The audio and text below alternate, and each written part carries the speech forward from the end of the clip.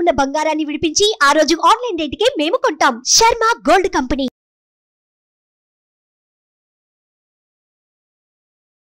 నమస్తే. Welcome to Suman TV. నేను మీ యామ్ని. ప్రస్తుతం మనతో ఉన్నారు ప్రముఖ ఆధ్యాత్మికవేత్త ప్రముఖ జ్యోతిష వాస్తు పండితులు మనతో సూర్యనారాయణ శర్మ గారు ఉన్నారు గురుగారితో మనం మాట్లాడదాం. నమస్కారం గురుగారు. నమస్కారం అమ్మ. శుభం వ్యాధు గురుగారు ఇప్పుడు వృషభ రాశి వారికి మార్చి నెలలో ఏ విధంగా ఉంటుందండి? వృషభ రాశి వారికి మనం తీసుకున్నప్పుడు మార్చి ఒకటో తారీఖు నుండి పదిహేనో తారీఖు వరకు మనం చెప్పుకుంటే మనకు పంచమంలో కేతు యొక్క ప్రభావం కనిపిస్తుంది. అలాగే మనం తీసుకుంటే భాగ్యస్థానంలో కుజుడు ప్లస్ శుక్రుడు యొక్క ప్రభావము రాజ్యంలో చూస్తే మనకు రవి శని బుధుడు యొక్క ప్రభావం కనిపిస్తుంది. అలాగే లాభంలో రాహు వ్యయంలో గురుడు కూడా. ఆర్థిక విషయానికి వచ్చినప్పుడు ఇన్కమ్ ఎంత వస్తుంది అనే విషయానికి వచ్చినప్పుడు ఏంటంటే రాజ్యస్థానంలో ఉన్న రవి శని బుధుడు అంటే ఏదైనా కొత్త కోణంతో వ్యాపారం అనే ఆలోచనతో కానీ ఇనిషియేట్ చేయగలిగితే అలాగే కొత్తగా ఏమైనా ఇనిషియేట్ చేసి ఉద్యోగంలో కూడా సైడ్ ఇన్కమ్ కోసం ప్రయత్నం చేయగలిగితే మాత్రం సక్సెస్ అది ఉండే అవకాశం వాళ్ళకి బాగానే కనబడుతుంది. అలాగే వ్యాపారస్తుల దగ్గరికి వచ్చినప్పుడు స్టీలు సిమెంటు వైరును ఆటోమొబైల్స్ వ్యాపారం చేసే వాళ్ళకి crude oil petrol bunks wine shops run చేసే వాళ్ళకి వీళ్ళందరికీ కూడా ఆదాయం ఒక ఎస్టాబ్లిష్మెంట్ అవుతుంది చక్కగాను పదిహేను రోజుల్లో ఆర్థిక బలం బాగానే ఉంటుంది చెప్పవచ్చు ఇప్పుడు వ్యాపారస్తులు అంటే కొత్తగా పెట్టాలనుకుంటే వాళ్ళకి ఏ విధంగా ఉంటుందండి? కొత్తగా పెట్టేవాళ్ళు అనుకునే వాళ్ళు కూడా మంచి సమయం అనేది. కానీ అగ్రిమెంట్ చేసుకునేటప్పుడు పార్ట్నర్షిప్ అగ్రిమెంట్ చేసేటప్పుడు జాతకాలు చూసుకుని జాతక రీత్యా ఈ అగ్రిమెంట్ చేసుకున్న వ్యక్తికి నాకు అనుకూలంగా ఉందా లేదా లగ్నాలు రెండు కలుస్తున్నాయి లేదా? పంచమభావాలు బాగున్నాయి లేదా ఇద్దరివి? పంచమం ఉంటే అష్టైశ్వర్యాలు ముఖభాగ్యాలు చెప్పే ప్రదేశం అన్నమాట. అక్కడ ఎటువంటి పాపగ్రహాలు ఇద్దరికి లేవా? ఇలా వ్యాపారస్తులు కూడా పెళ్ళికి ఏ విధంగా చూసుకుంటారు భార్యాభర్తలది వ్యాపారం అన్నప్పుడు లైఫ్ లాంగ్ కలిసి ఉండాలి కాబట్టి వ్యాపారంలోని. అటువంటి వాటికి కూడా మనం ఇలా జాతకాలు చూసి చూడాలమ్మా. అలా చూసుకుని వ్యాపారస్తులు పార్ట్నర్షిప్ వ్యాపారం చేసుకునేవాళ్ళు కానీ ముందుకెళ్ళాలనుకుంటే పదిహేను రోజులు ఇనిషియేట్ చేసుకోవచ్చు ప్రాబ్లం లేదు. అంటే వీళ్ళకి ఏమైనా ఆరోగ్య సమస్యలు ఉన్నాయండి? ఆరోగ్య సమస్యలు అనేసరికి మనకి ఇక్కడ భాగ్యస్థానంలో ఉన్న శుక్రుడు ప్లస్ మనకు కుజుడు యొక్క ప్రభావం కనిపిస్తుంది తప్ప అంతకంటే కింద హస్తంలో కానీ ఆరో స్థానంలో కానీ ఎటువంటి పాపగ్రహాలు లేవు కాబట్టి పదిహేను రోజులు ఎటువంటి అనారోగ్య పరిస్థితికి లోనవుతారని చెప్పడానికి పదిహేను రోజులకైతే. ఇప్పుడు విదేశాలకి వెళ్ళాలనుకుంటున్నా కానీ ఒకవేళ వెళ్ళి ఉన్న వాళ్ళకి ఏ విధంగా ఉంటుందండి అసలు? విదేశాలకు వెళ్ళి చదువుకోవడం వెళ్ళడం వేరు అక్కడ సెటిల్ అవ్వడం వేరమ్మా. అసలు విదేశానికి చదువుకోవడం వెళ్ళే వాళ్ళకి మాత్రం అనుకూలంగానే ఉంది.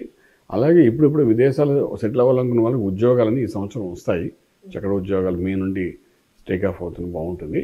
అలాగే మనకి ఇంకొకటి మే నుండి గురుబలం పెరుగుతుందన్నమాట వీళ్ళకి. అక్కడ నుండి టేక్ ఆఫ్ అవుతుంది వరి అవ్వట్లేదు ఏంటి నాకు ఏది రావట్లేదు కదా అని చెప్పి పదిహేను రోజులు ఫ్రస్ట్రేషన్ అయ్యి ఎటువంటి రాంగ్ డిసిషన్స్ తీసుకోవాల్సిన అవసరం ఏమాత్రం లేదన్నమాట అలాగే మనకు ఇంకోటి ఏంటంటే వీళ్ళకు శుభవార్తలు అంటే మంచి వార్తలు వినడము వాళ్ళకి అనుకూలతగా అన్నీ జరగడం అని చేసే అవకాశం అయితే విదేశాల్లో కనబడుతుంది మేడం ఇప్పుడు రియల్ ఎస్టేట్ రంగానికి సంబంధించి కానీ కోర్టు సమస్యలు ఉన్న వాళ్ళకంటే ఏ విధంగా ఉంటుంది ఈ పదిహేను రోజులు? ఈ రియల్ ఎస్టేట్ అది న్యూట్రల్గా వెళ్తున్నాం పెద్ద పాజిటివ్గా ఏం కనిపించదు. ముందు ముందు ఎలా ఉందో అలాగే కంటిన్యూ అవుతుంది. అలా కోర్టు వ్యవహారాలు కూడా ఒకటో కోర్టు సెటిల్మెంట్స్ కనబడతాయి. కొంతవరకు ఆర్థికంగా ధనాన్ని ఇచ్చి అయినా సరే పని చేసుకోవాలనుకుంటే అవ్వదు. కానీ ఇప్పుడు ఏంటంటే ఈ పదిహేను రోజులు అటువంటి ప్రయత్నాలు చేసినా కూడా సక్సెస్ఫుల్ అవడానికి అవకాశం ఉంటుంది. స్పెషల్లీ ఫ్యామిలీ కోర్టులో ఉన్న సమస్యలను బయటపడడానికి అవకాశం ఉంటుంది. రిలేషన్షిప్ డెవలప్ చేసుకోవడానికి అవకాశం ఉంటుంది. చెప్పగలుగుతాం ఇప్పుడు భార్యాభర్తల మధ్య రిలేషన్షిప్ అనేది అసలు ఏ విధంగా ఉంటుందండి? ఇక్కడ మనకు చూస్తే రాశిలో ఎటువంటి దోషం లేదమ్మా ఈ పదిహేను రోజులకి సంబంధించిన వరకు. భాగ్యస్థానం కూడా చాలా బాగుంది.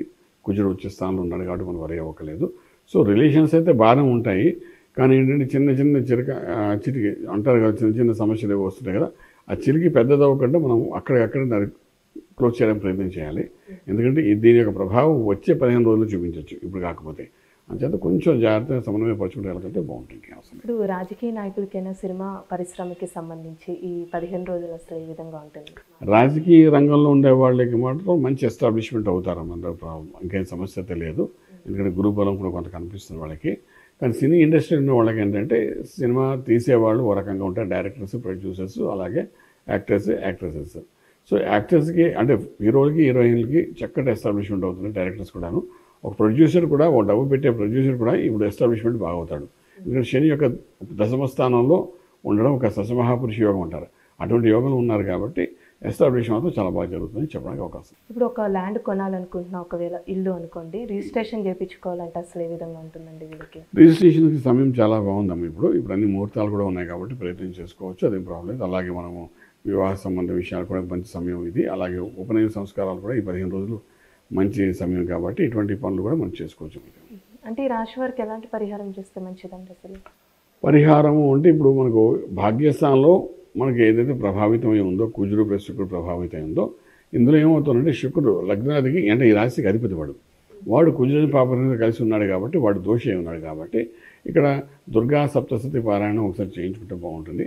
లేదంటే సుబ్రహ్మణ్యేశ్వర స్వామి యొక్క ఆవరణ అర్చన అర్చన అంటారు అప్పుడు అదనే చేసుకుంటే కొంత పాజిటివ్ అనేది చూడడానికి అవకాశం చాలా చక్కగా తెలియజేస్తారండి. ధన్యవాదాలు.